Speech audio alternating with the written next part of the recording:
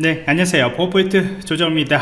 어, 이번 시간에도 뉴스를 통해서 여러분들하고 같이 그 이슈를 한번 파악하는 시간을 갖도록 하겠습니다. 어, 이런 뉴스가 있습니다. ZDNet 코리아에서 나온 뉴스고요. 해킹 치밀해지는데 보안 취약점 포상제 활성화는 언제 될 것이냐 라고 하는 뉴스입니다. 어, 제가 유튜브를 통해서 이제 bug bounty 그 다음에 취약점 포상제에 대해서도 많이 이야기를 했습니다 혹시나 이제 버건팅에 대한 오해들을 할 수 있는 부분들이 있기 때문에 이 버건팅에 대한 그 영상을 먼저 한번 보시고 보시면은 좀 도움이 되실 거라고 생각을 합니다. 말 그대로 이제 보안 취약점 포상제라는 것은 어, 대중적, 대중적으로 계약을 맺는 겁니다. 많은 사람들한테 대중적으로 오픈을 하고 그 다음에 자신의 그 서비스에 대해서 취약점들을 찾아내면은 이제 포상을 해주겠다 그 포상 범위하고 그 다음에 버건팅을 참여하는 사용자들의 그런 해킹할 수 있는 범위들이 어, 정해져 있습니다.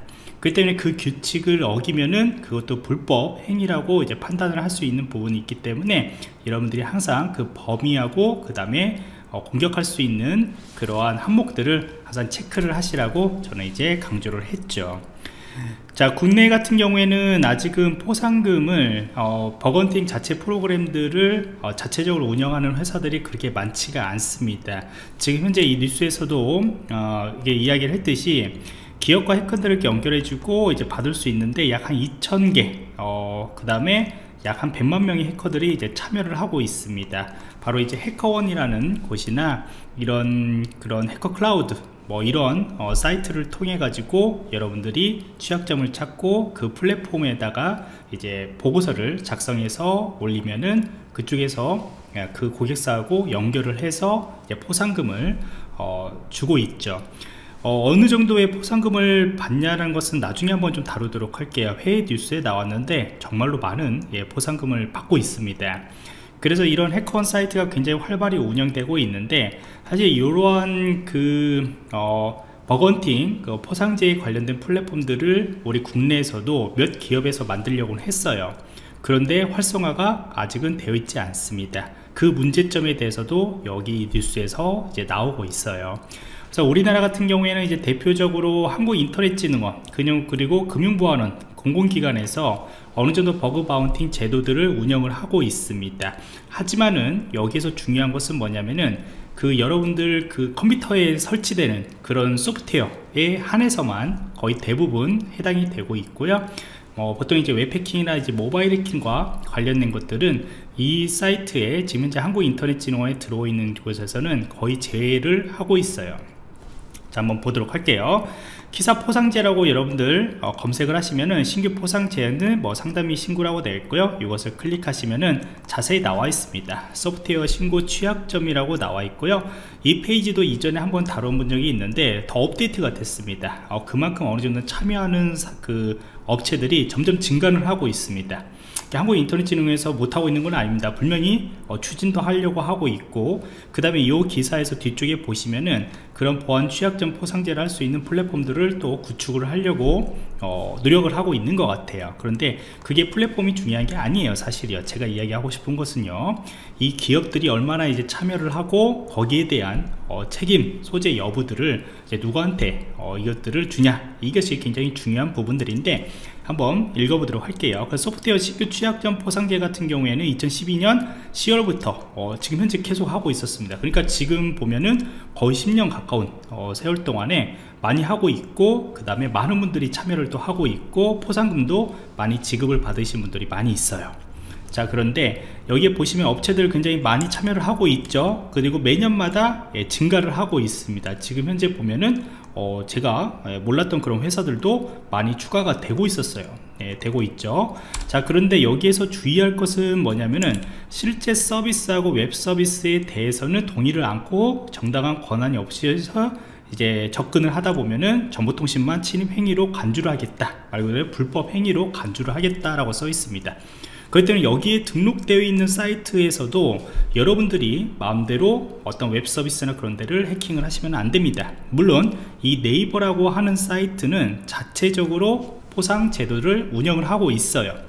그렇기 때문에 이 네이버의 버그 바운티라고 여러분들이 검색하시면은 네이버에서 허용되는 그러한 해킹 기법과 그 다음에 어느 도메인 대상으로 할 수 있는지 그 범위들이 나와 있습니다. 그래서 이거는 예외사항이죠 그리고 네이버는 더 이상 이제 한국인터넷진흥원에서 벗어나서 자체적으로 예, 운영을 하고 있습니다. 때문에 이런 문화들이 계속 생겨야만이 사실 전체적으로 우리 국내에서도 bug bounty에 참여하는 기업들이 많아진다 라고 보시면 돼요. 그래서 국내에서는 네이버하고 그 다음에 대표적으로 리디북스 그 다음에 삼성전자 일부 그런 서비스에 대해서는 이제 자체적으로 좀 운영을 어, 하고 있습니다. 앞으로도 몇몇, 몇몇 회사들이 좀 참여한다는 말을 하고 있는데 아직은 그렇게 큰 크게 모든 서비스에 대해서 참여는 아직도 미비하다 라고 보시면 돼요 그래서 이전부터 이런 정보들만 보고 이제 어 이렇게 공부하는 학생들이 어 이거는 취약점 찾으면 된다. 뭐 위에 위에 거를 안 읽는 거죠. 위에 있는 주의사항은 전혀 안 읽고 아 우리가 취약점을 찾아내면은 포상을 해주는구나 라고 생각을 하게 되는 것이죠 그 다음에 여기에 나와 있는 이 기업 이외에도 그냥 어느 사이트 뭐 대학이던 자기가 다니는 대학이던 어느 사이트에 가가지고 취약점을 찾아내면은 여기 기사에다가 신고를 하면은 어 뭔가 포상을 해주는 것 같고 기사에서 포상을 안 해주더라도 이 기사 쪽에서 말을 해가지고 이제 고쳐질 수 있겠구나 이렇게 생각을 하겠지만은 사실 그거는 예, 모든 것이 다 불법 행위입니다 명확한 불법 행위라고 보시면 됩니다. 그렇기 때문에 여러분들이 거기에 대해서 주의를 하시면서 진행을 하시라고 해서 여기에다가 이제 취약점 포상 제외 사항이라고 해서 여러분들이 이것을 참여할 때 이렇게 비밀 유지 같은 경우나 그런 것들을 다 받고 있습니다 이게 점점점 강화가 되고 있어요. 너무나 그런 사례들이 많고 어 제가 이제 일부 좀 들어봤는데 그냥 매일 레포트를 이제 주는 겁니다. 여기 사이트 저기 사이트 계속 레포트를 주다 보니까 이런 것들이 어 이제 주의사항들을 계속적으로 이제 이야기를 하게 되는 것이죠. 자 그러면 다시 뉴스에 들어가서 자 기사 같은 경우에는 19개 미만 기업들과 협의 중이다. 이제 생규 그 신규로 예, 들어오는 사이트하고 어, 어, 이렇게 협의를 하고 있고요. 점점 늘어난다고 제가 이야기를 했죠. 그 다음에 이제 금융보안원 같은 경우에도 금융권에서 사용하는 소프트웨어 어, 사실 금융권에서 사용하는 소프트웨어들은요 모든 웬만큼 대기업이나 그 다음에 공공기관 그런 데서 사용하는 소프트웨어들을 다 포함을 하고 있어요.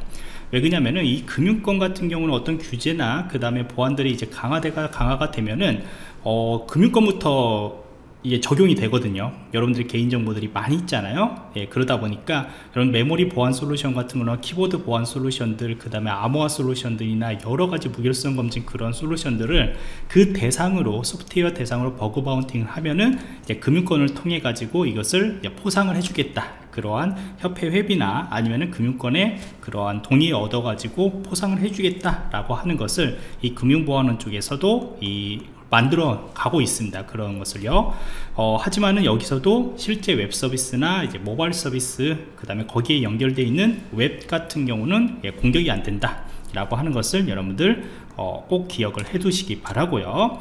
어, 자 아래 보면 이제 이동현 기사 취약점 분석 팀장님이 있는데 제 의견하고 거의 비슷한 것 같아요. 제가 기업 입장에서는 이런 취약점 분석 활동이 서비스 장애를 일으킬까 우려를 한다라고 이렇게 써 있는 거예요 그렇지만은 예, 플랫폼들은 어떻게 구축을 해서 그런 문화들을 이제 이끌어내야겠죠. 그래서 사실 이게 제일 큰 부분이라고 보시면 돼요. 저도 뭐 이제 어, 보안 담당자에 있을 때 금융권에 있을 때 이러한 bug bounty라는 사업들을 한번 해볼까 라고 해서 여러 이제 담당자들하고 한번 이야기를 해봤는데 그 담당자들 입장에서는 우선 첫 번째는 인력이 부족합니다. 예, 상당히 많이 부족하고 서비스에 비해서요. 그리고 실제 공격일 버건팅을 했을 때 그게 실 실제 공격인지 그러니까 실제 정말로 악의적으로 사용 악의적으로 목적으로 접근하는 사용자가 공격을 하고 있는 패턴인지 아니면 이제 버건팅에 어, 참여하는 사람들이 실제 공격하는 패턴인지를 구분할 수가 없습니다. 물론 이제 IP를 보면은 뭐 한국에서 접근하는 것만 그거에 대해서 해당하게 한다라고 할지라도 한국 내에서도 악의적으로 사용하는 사람들이 분명히 있을 거란 말이죠 그렇기 때문에 그거를 처음에 이제 판별하기도 굉장히 어렵고 그 다음에 요거는 이제 대중적으로 계약을 한 것이기 때문에 뭐 특정한 IP들만 이렇게 등록을 해 가지고 허용할 수도 없다란 말이죠. 예, 그런 것들을 어, 프로세스를 갖춘다고 할지어도 그거를 담당할 수 있는 그 업무만 어, 딱 정해 가지고 할 수 있는 인력들이 많이 부족해요 그 부분 때문에 이제 이런 포상제나 그런 것들을 도입하기가 어렵다라고 보시면 됩니다. 어, 그런데 이제 외국 같은 경우에는 그런 것들이 뭐 잘 되어 있는 경우는 어, 그런 롤들이 있을 수도 있고 그 다음에 그러한 책임 여부들을 담당자가 아닌 이제 회사 전체에서 그런 책임들을 진다라고 했을 때는 과감히 어, 물론 이제 담당자에서도 되게 책임이 없는 부분들이기 때문에 이 사업들만 잘 운영을 하면 되는 거거든요 그래서 그러한 책임 여부들도 좀 많이 있습니다 그래서 국내에서는 그런 것들을 기획을 하다 보면은 우선 책임 여부부터 좀 따지는 예, 그런 경우들이 많이 있기 때문에 사실 섣불리 이것들을 도입하기가 좀 어렵더라고요. 저도 많은 시도들을 좀 한번 해봤는데 그렇습니다.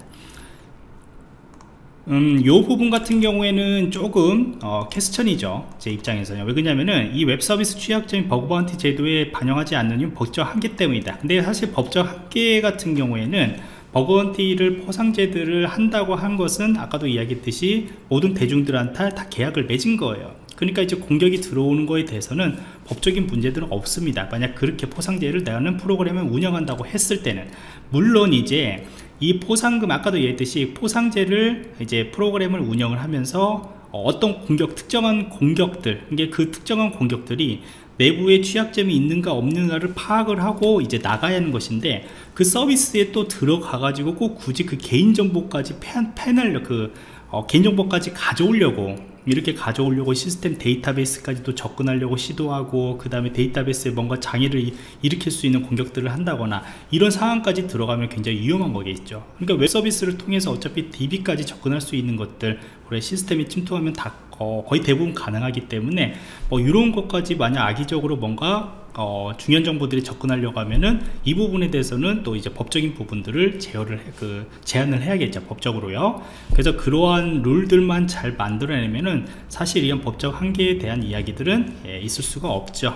그래서 이러한 문제 해결 법 개정이나 그런 것들에 대해서 이야기를 해주셨는데 사실 이 부분 같은 경우에는 예, 프로그램을 어, 진행을 하고 거기에 대해서만 잘 명시를 하시면은 예, 그렇게 큰 문제는 없습니다 사실이요 자 그래서 여기까지 이렇게 관련 기사들을 좀 한번 좀 살펴봤습니다. 그래서 제가 뭐 하고 싶은 말은 뭐냐면은 이런 플랫폼이나 취약점 분석 플랫폼에 하는 것들은 예, 좋은 옳은 방향이다. 하지만 이걸 민간 쪽에서 한다면은 더욱더 좋은 것이지만은 한국인터넷진흥원이라는 그런 힘을 좀 더 더 보태 가지고 진행을 하면은 좀 더 원활하게 되겠죠. 그래서 요거는 예, 솔직히 좋은 예, 사업이라고 생각을 합니다. 근데 얼마나 많은 민간들이 민간 기업들이 또 여기에 참여하냐? 아마 그게 더 중요하지 제 입장에서는요 그렇게 생각을 하고 있습니다